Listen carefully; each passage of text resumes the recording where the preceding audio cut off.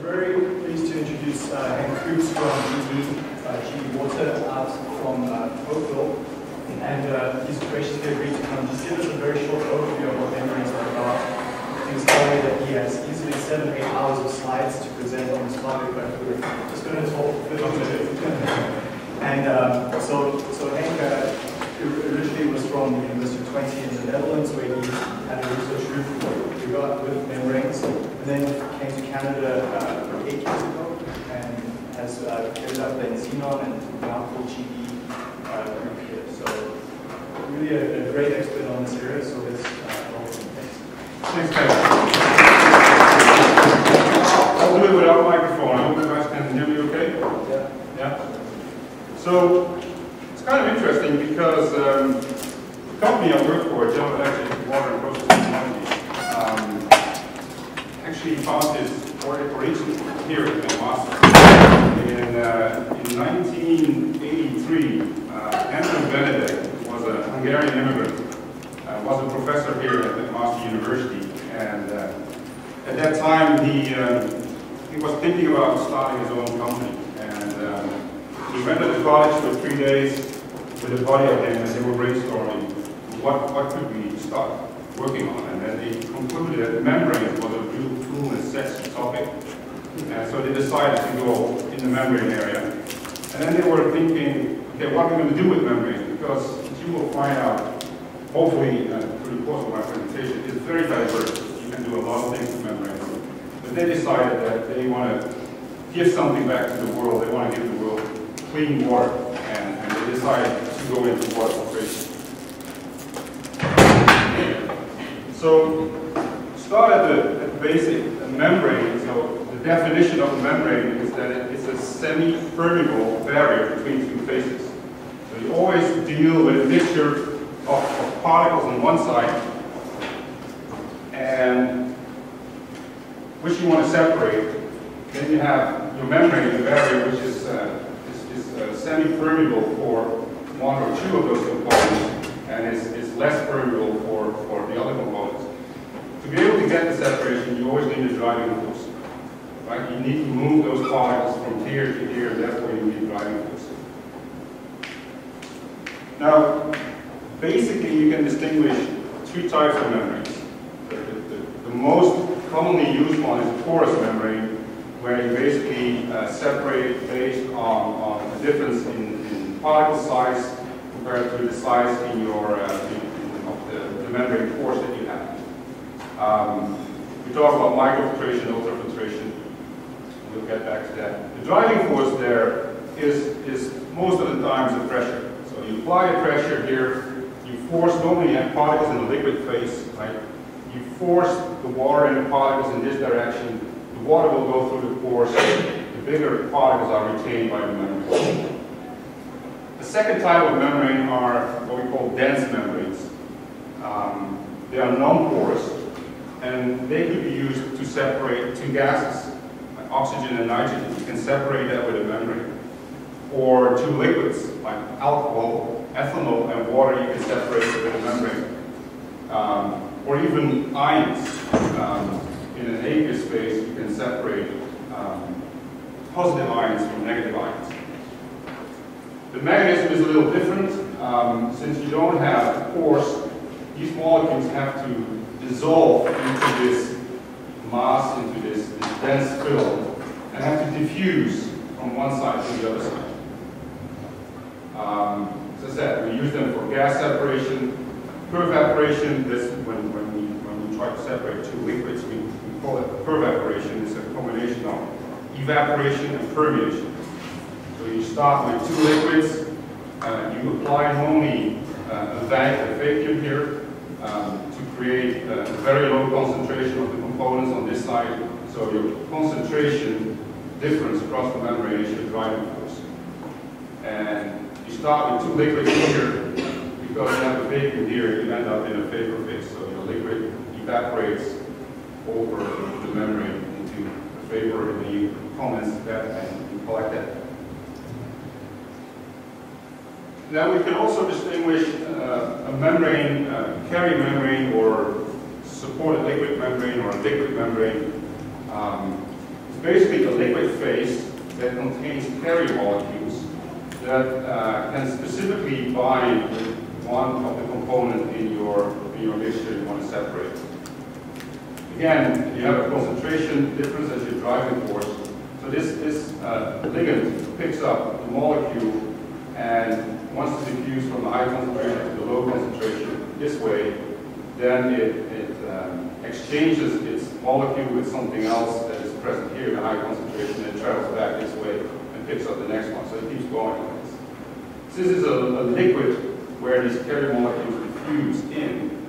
You need a support and often you use one of those membranes, very highly porous membranes, which you fill with a liquid phase and with the carrier, and that travels then back and forth in in the structure like this.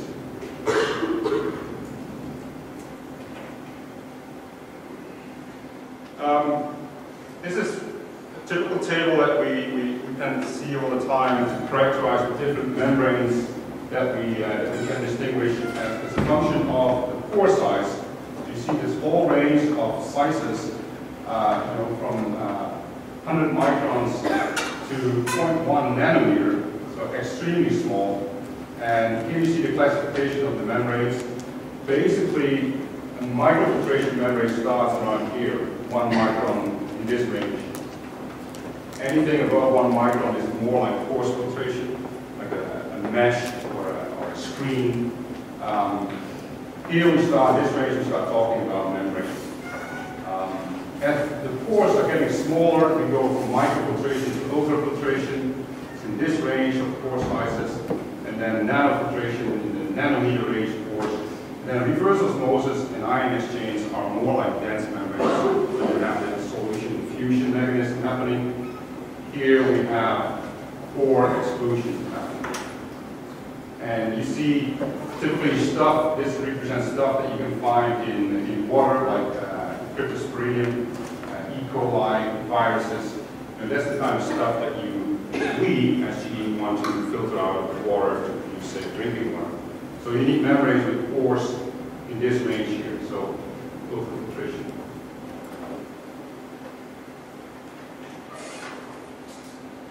So you know, I, I, said we, we can separate gases, we can separate two liquids from each other, we can separate ions. Um, I'm not going to talk about that because I need a lot more time to cover all of that. So I'm going to focus on porous membranes, and basically the liquid, the liquid phase, the liquid transport from porous membranes. So I'll talk a little bit about some of the models to describe the, the fluid transport. Pressure here is always the driving force for, uh, separation convection here is dominating as the, uh, as the, the way of, of, matter that moves through the membrane. The type of membranes you should think about are micro, ultra, and nanofiltration. And um, the separation basically happens because of size exclusion. Okay. So porous membranes and, and some of the, uh, the, the, formulas that describe the, uh, the, the flow through a membrane uh, is given here. So when we talk about a flow through a membrane, so these are different membrane structures. Um, you here the white ones are the, the, the, the pores, the channels. Here you have more like a tortuous pass all the way through, and, and here you have another way of, of, uh, of a membrane structure. But you got to remember, the flow through membrane, we always talk about flux, flux through membrane. And the flux through membrane is the product of the permeability times the driving force. And the permeability of a membrane is a membrane property. So once you have the membrane, this, this permeability is fixed. You can't change that anymore. If you want to change the flux, you can change that, you can influence that by playing with the driving force. That's, that's the parameter that you can control. Okay? Um, then Darcy described this, uh, the flux in, in, in a way here. So this, this U represents the flux. Your delta P is your pressure, is your driving force. And it's normalized over the, the membrane thickness, so the thickness of this the membrane, delta Z. And then K constant over the viscosity. This represents the permeability. And then there are different ways, depending on what the membrane looks like, whether it looks like this or more like this, there are different ways of characterizing this K value. Um, when we have perfectly cylindrical pores like this, which in reality we never have, but to be able to describe this and understand this, we have to take, uh, we have to have some assumptions. So Poiseuille assumes that we have perfectly cylindrical pores in the membrane, and then this K value is expressed as the, the, the porosity.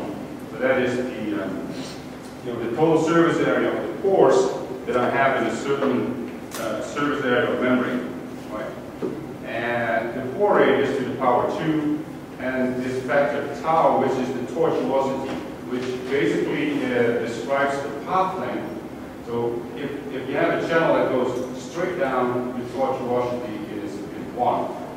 This one is probably like 1.2. So it's the difference between going straight through the membrane or having a tortuous path, or here you you only have to zigzag through the maze of pores to get to the other side.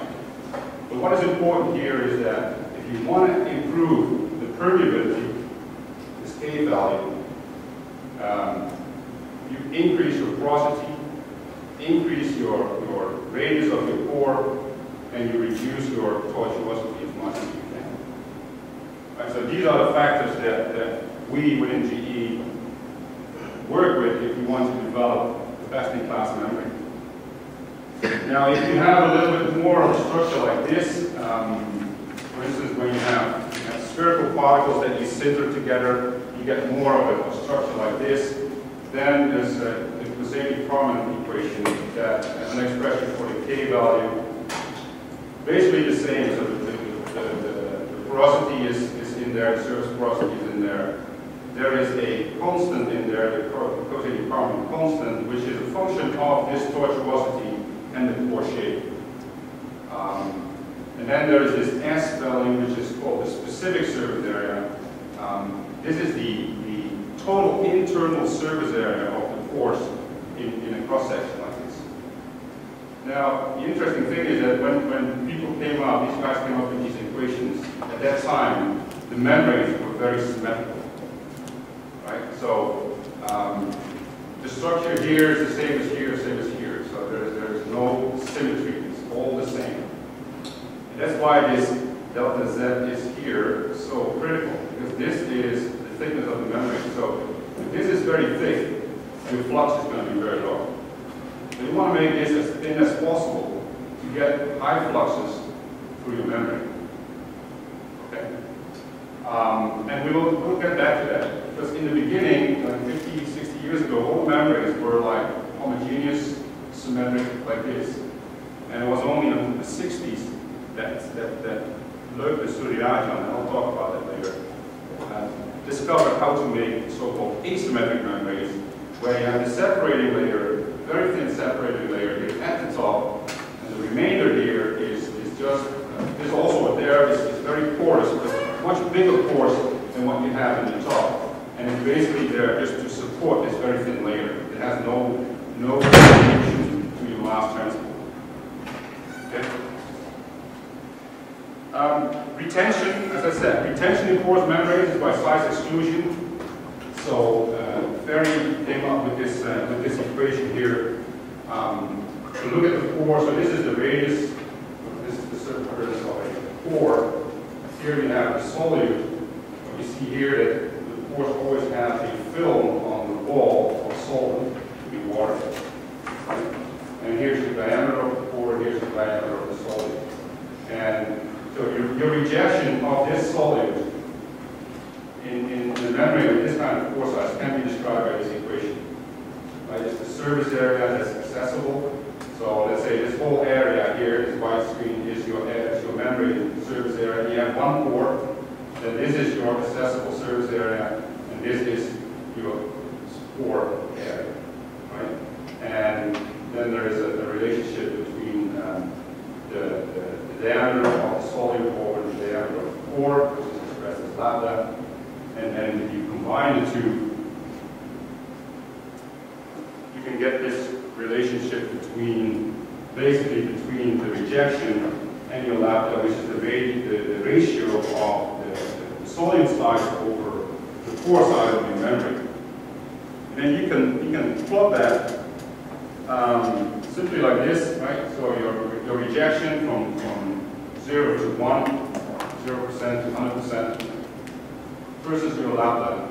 And when the ratio of the pore over uh, the, the solute over the pore becomes 1, so then the, the, the particle is the same size as your pore, your rejection becomes equal to 1. Mostly we express it like this because this lambda doesn't mean so much to us, but we would like to understand if I have a membrane with a certain pore size, and you know, how rejective is that for certain molecules? So we, we transform this lambda into molecular weight, and we express the pore size, and this, this is a mathematical exercise, right? Just to get a, a value for a pore size related to molecular weight, say that uh, when, the, when the pore equals 1,000 kilodalton in molecular weight, the lambda becomes equal to 1. And then you can play with the, with the diameter of your solute, and if it increases, then you see that the rejection goes up uh, until you reach the molecular weight that's equal to pore size, and you get a rejection of 1. This is what people call a Seeing curve. Um, you can also do this experimentally. You take a membrane, you have a whole bunch of different solutes with different molecular weights, and you basically start filtering one after the other, and you measure the rejection of these components. Rejection is defined as the concentration of your solute in the feed minus the concentration in the permeate uh, over the concentration in the feed. And you, you take those molecules, different, different sizes, and you measure the, the, the, the rejection. And then you get the same kind of curve that we've seen before. And this is an S curve, Seebeck curve, and you know, membranes, ultrafiltration membranes are typically characterized by a molecular weight cutoff value. And the molecular weight cutoff value is just a definition where you get, it represents the molecular weight of a species that's retained for 90% by the membrane.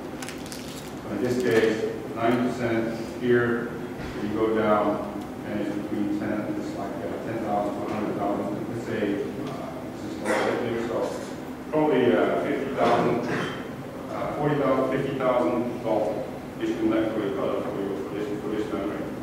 This is very, laborious. I mean, this is, this, there's a lot of experiments, and there are nowadays uh, easier ways uh, working with, with, with mixtures of all these components all together um, and do one filtration experiment and use uh, a GPC to measure uh, the concentration of these components. You get you get it very quickly.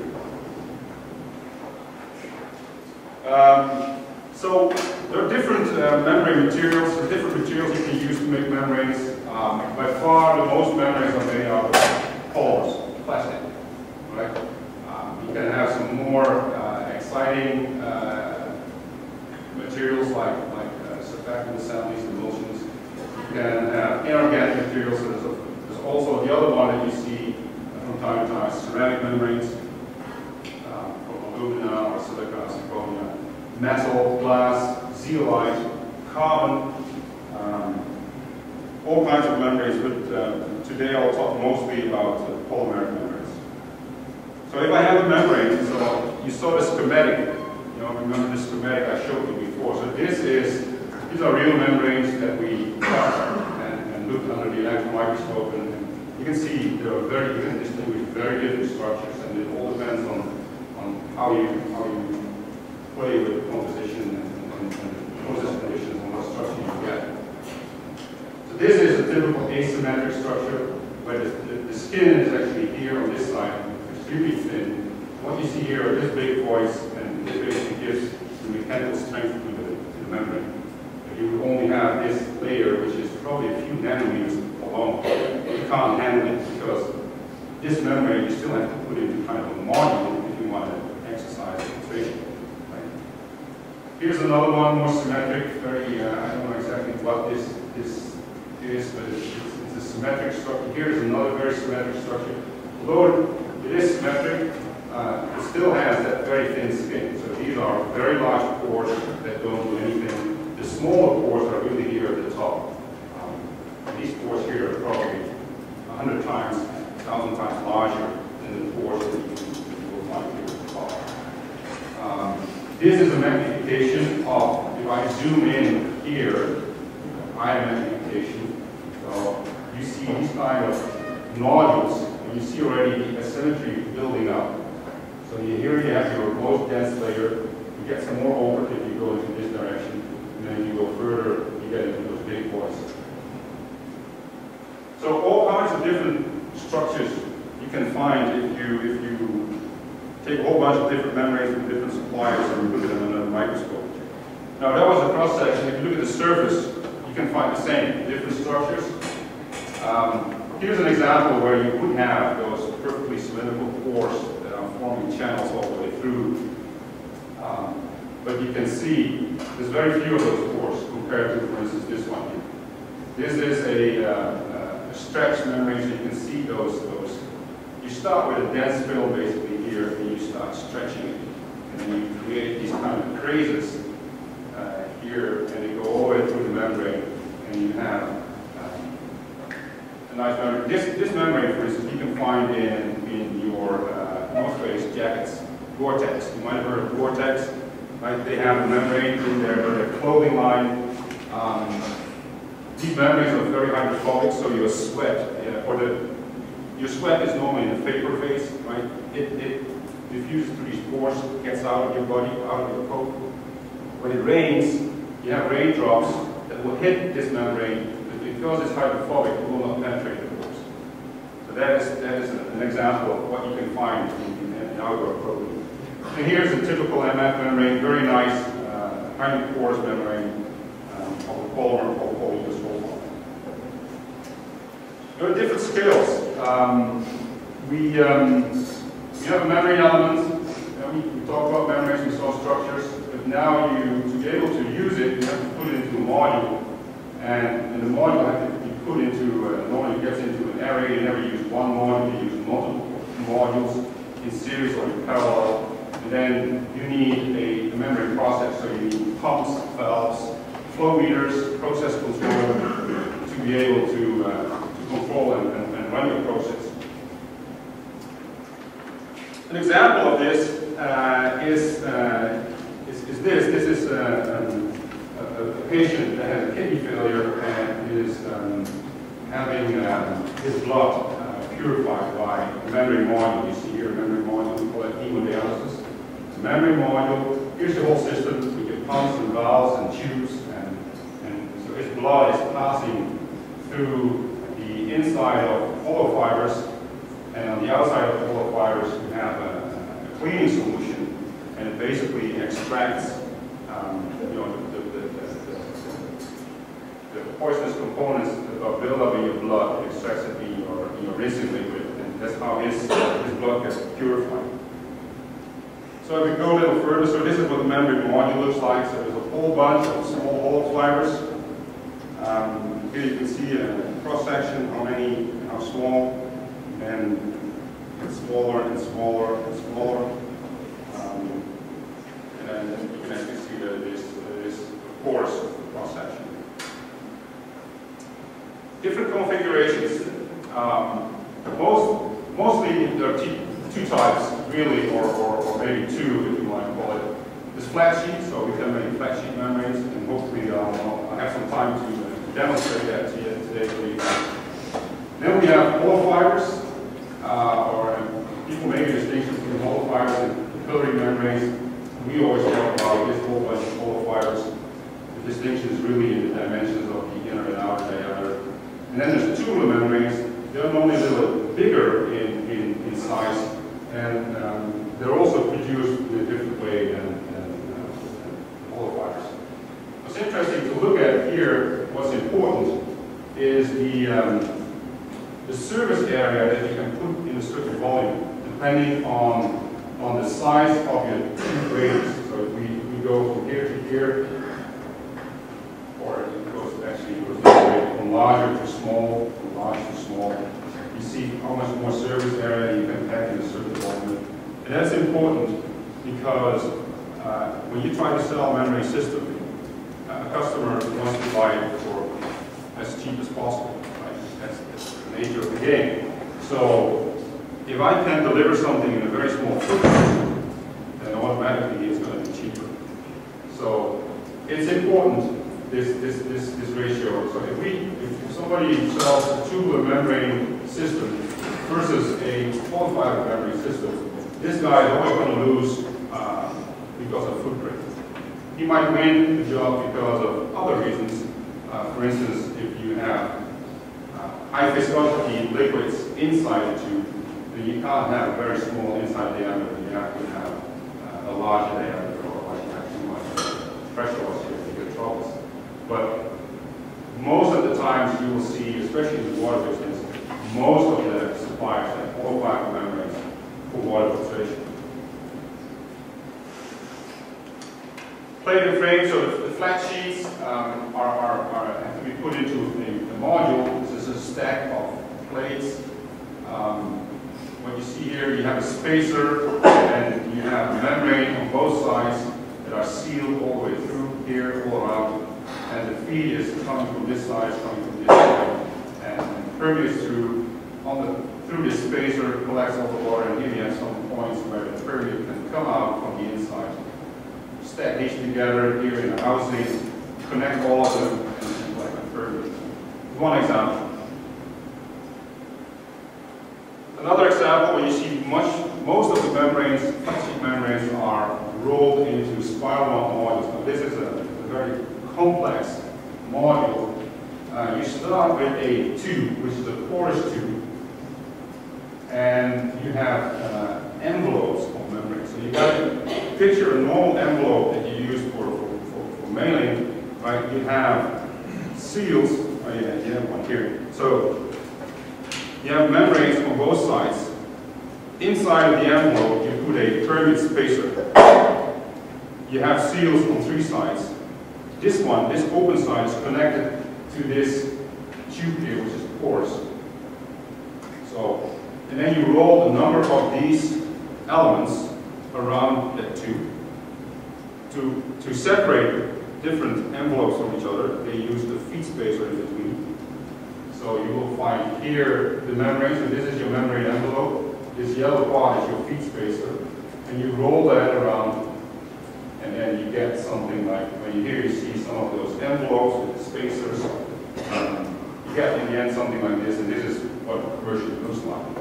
Um, if you have a module like this, you have the, the, the, the central pipe which collects the permeate, and the outside of the envelope, you flow in your feed solution. So your feed flow goes in like this, right? It goes the outside of the envelope, permeates through into your permeate side and the spacer, and then when it ends here, it goes, spirals all the way to the center. That's, that's something that you can see here. Right, so you have your, your blue line is your permeate, your clean water. It's coming out here, but the red arrows go in between on the side here or, or here, all along this way, permeates through the membrane into this envelope, and then it spirals to the center tube. So these, these modules are used for ultrafiltration, are used for, for uh, even for gas separation, but mostly you will see them in reverse osmosis, which is used for desalination. Here are some examples of tubular membranes, um, different configurations, different sizes. Here are some examples of tubular membranes the form ceramic. And um, then there are different uh, preparation methods. I, am not going to discuss all of them in detail, but there's, there's a whole bunch of, of uh, methods. You can sinter particles, so you fuse particles together under pressure or heat. Um, control stretching, so you have a dense film and you stretch it and you create those, those creases. We saw that before. Track etching, um, interfacial polymerization. This is, this is used to make uh, osmosis membranes, but I will talk a little bit about phase inversion and phase separation. That is the most common uh, process used to make asymmetric membranes. And it's, and it's due to these two, these two guys, Loeb and Sourirajan, that uh, a lot of people believe that they would deserve the Nobel Prize for this invention because if it wasn't for them, if they would not have invented a way to make asymmetric porous membranes, uh, the whole membrane business would, I mean, Zenon, GE water would, would, not exist. And we would not be able to filter, um, you know, convert Lake Ontario water through a membrane into clean drinking water, or, you know, clean up uh, wastewater with membrane processes. It's, it's, it's all about these two guys, and it's, it's, um, it's, it's a little bit described here. So um, this is the demo I will give uh, hopefully later on. Um, what you need is a polymer, uh, a solvent, and a non-solvent. And what you start off with, normally you dissolve this polymer in a, in a solvent, and you get a viscous solution. Um, now, in reality, it's not only those two components, we add a lot more other components in there, like pore formers, components to make the membrane more hydrophilic, anti-fouling agents. Uh, but for simplicity, you can dissolve a polymer in a solvent, you get a viscous solution. Um, I, I have one here, so it's extremely viscous, hardly flows. And then you have that, now you can start shaping it. Uh, for instance, as a flat sheet.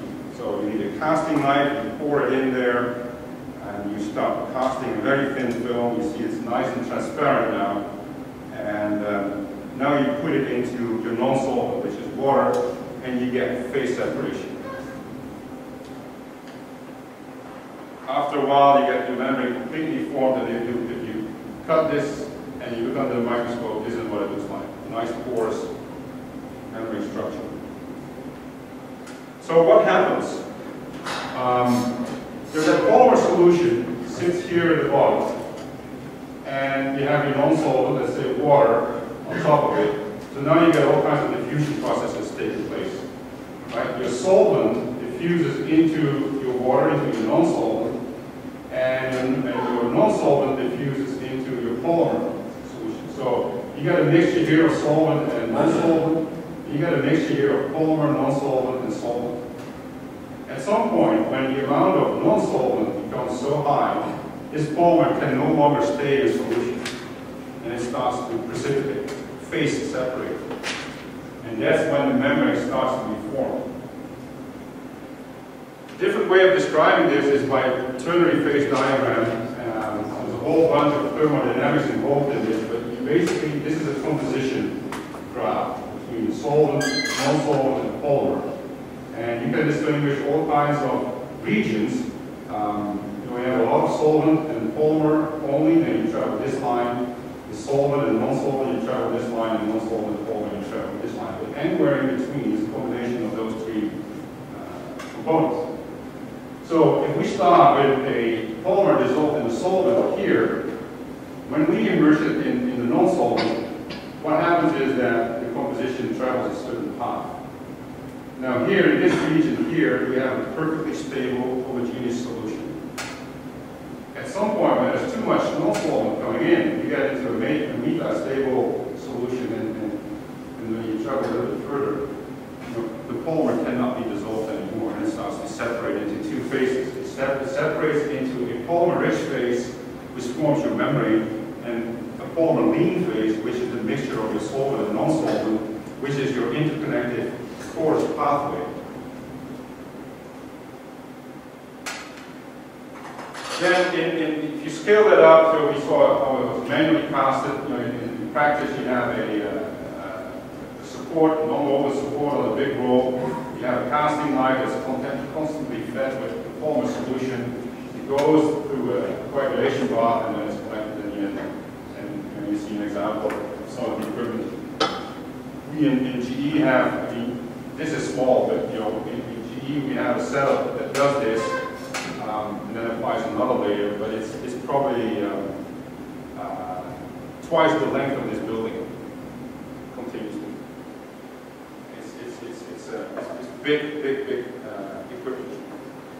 Hollow fibers, how do we make those? Same solution, uh, same principle, but we need a different die. We're not casting it uh, on, a, on a support. We are uh, extruding it more or less through a nozzle. Um, here's an example. Um, you see a needle in the middle, and there's an orifice, and there's, there's a second orifice. We normally use only the needle in the first orifice. The needle, we, we feed a non-solvent so that the fiber becomes hollow.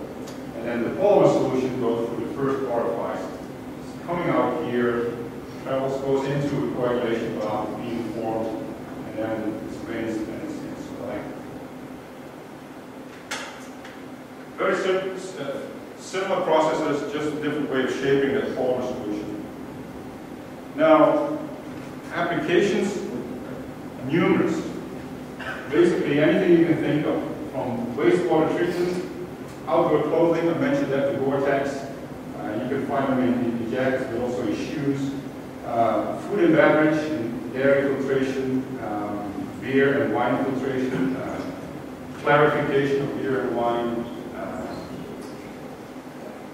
In, in medical applications, so we, we saw the hemodialysis before, um, but also for um, um, blood oxygenation. Um, you know, in, in, in, open heart surgery, um, the- they use a membrane to, to feed blood with oxygen instead of uh, using the heart and, and having the blood pumped through the system. So use a pump, pump the membrane through modules and, and adds oxygen to the blood and it moves the CO2. Um, That you might find in your, your households, normally you find a pre-filter, uh, a small reverse osmosis unit, and a uh, post-treatment, which is often an activated carbon, and the water is collected in a bigger container and comes out of the tap. Um, Desalination, desalination can be done by electrically driven processes because we are, we are, we want to remove ions, like sodium and chloride ions. But most of the time it's done with reverse osmosis membranes. Gas separation, um, oxygen nitrogen separation, uh, natural gas normally has a lot of CO2 um, to improve the caloric value of the the methane. Often the CO2 is being removed and, and gas separation membranes are playing a role there. Biotech, a lot of membrane processes and different kinds of process steps in bioengineering and then drinking water. So how, how, um, we have 10 more minutes? Okay, so I had a few more slides about what we are doing. I just, just flipped through them very, very quickly. Um, Hollow fibers is, is what we do. Um, we have membranes um, submerged and pressurized. So submerged is what you see here. Um, membranes in, in a module, they go into a, almost like bookcase. They ship them in in a big cassette, and then these cassettes are, are submerged in a concrete tank, and the tank is filled with water. Now, we talk about pressure as a driving force. In this case, normally you operate with a, with a higher pressure on the outside. In this case, in submerged mode, you create a low pressure vacuum pressure on the inside of your, of your fiber. Um, so on the inside of the fiber, so that the water is drawn, permeating this way from the outside to the inside, uh, applying pressure difference. Now, the, the disadvantage is if you go vacuum, you only have reality like you know, 12, 13 psi of driving force. Right? So that's, that's theoretically you can go to 14, and that's it. Um, so we also have a product that we call a pressurized hollow fiber. So now the membranes are in a housing, um, and we have the same membrane, but now we, we apply pressure on the outside of the membrane. And we can go much higher. Now we can go to 40 psi to force the water through uh, the membrane. So we, we, we get more flow through the membrane at higher. Um, in Mississauga, we, uh, we have two sites. One is Lakeview, the other one is Lorne Park. Um, enormous big sites. So we have, um, you know, over 7,000 modules, so over 7,000 of these guys over there. Um, and, and that site is transforming the water for Lake Ontario. There's some pre-treatment, then it goes through the membranes, and there's some disinfection after, and it produces drinking water. Serves about a million people. Um, today, this is going to be doubled in size, in size, and we have Park, which is a similar size, close by, so almost 3 million people served with drinking water through membranes. This is what it looks like, a big pump house, huge facility. Here you see the, the bookcases, the cassettes. And um, then this is the other application that we work on is, is membrane bioreactors. Very briefly, um, the conventional process, you, have your raw wastewater coming in, go through a big screen to remove all the, the, the, the debris, the toilet paper, the, bicycles, the shoes, whatever you can find in wastewater. And then it goes into a primary clarifier where the solids are settled down, the liquid goes through an aerobic process where you, you aerate the biology and the, the bacteria are breaking down the organics in wastewater.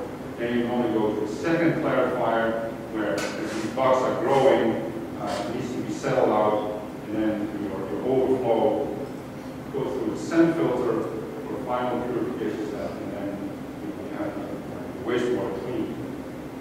What we do with MBRs, we replace basically all of this with a membrane process. So enormous reduction in footprint. Um, we need a finer screen than this screen protect our membranes because the membranes are pretty sensitive. But we, we basically put our membrane in, uh, in, in, the bioreactor and uh, so the dogs are doing their work. When they reach the membranes, the membrane separates the dogs, the dogs stay here, or, and, and, and clean water is being drawn out of the, um, of the tank. So here you see that uh, again, so submerged, similar thing. Um, and the last thing order to keep the membranes clean, because if we stop permeating, we get buildups of, of solids, of particles on the membrane surface, of course. So what we do, we aerate, we have an aerator at the bottom, releasing air and bubbles that keep those fibers moving. And that's where we, that's why we call it seaweed, it moves like a seaweed. And um, so those fibers are moving, the solids are coming down, and, and we also do know, backwashing sometimes that we reverse the flow from inside to outside to push these particles off the surface to keep the membranes clean. Then you have your, permeate drawn from the top, air going down to serve the aeration. Okay, so I, I, I want to leave it at this because I, I really want to do, here's another example of a, a wastewater treatment plant um, but I, I, would really like to um, do a live demo on, on, making a membrane here. If I um, will get the screen is dead. So I get prepared. Um, safety first, right? So, safety glasses, glove. It's, uh, it's not as dangerous as it looks like, guys. It's, uh, just in case.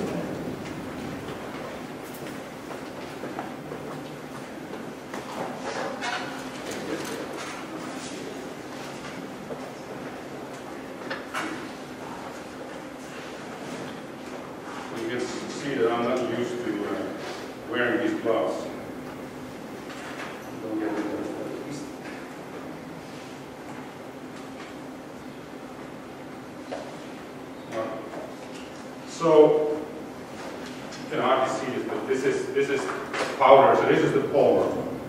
We talked about that before. Here's the solution.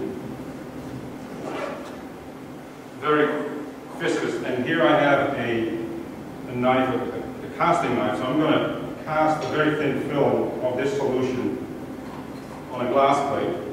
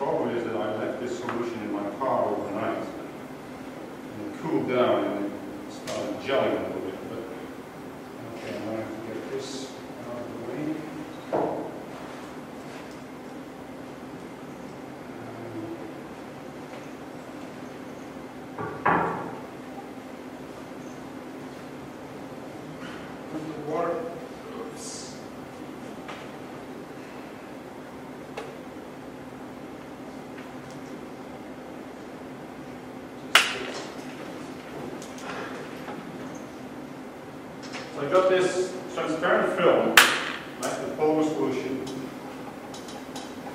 Now I put it into my non-solvent bath.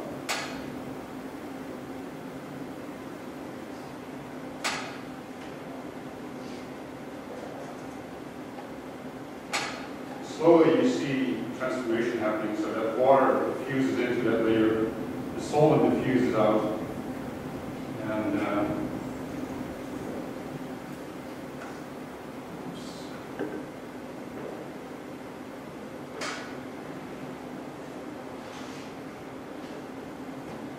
As we wait a little bit.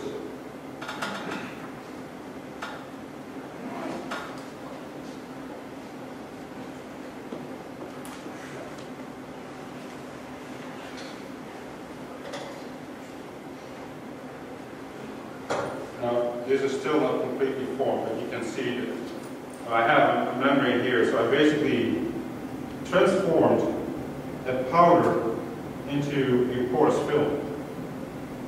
So if, you, leave it longer, it turns out it gets more white in color, and that is because it's porous. Um, the light shines on those pores, and because they're so small, the light is breaking,